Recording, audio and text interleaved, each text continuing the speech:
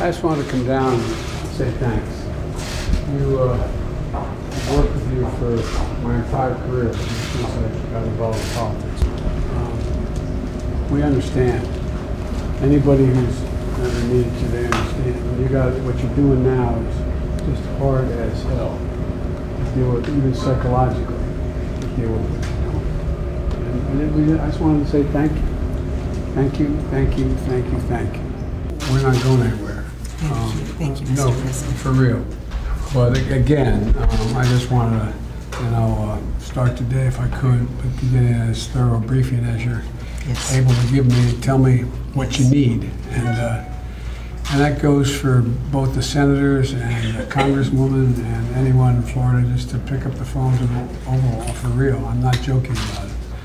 I think the, I think the gov will tell you anything you ask for, we got. We have another group of teams coming from FEMA today. How, how many people will be? By the end of the day, there should be about 500 on the ground. 500.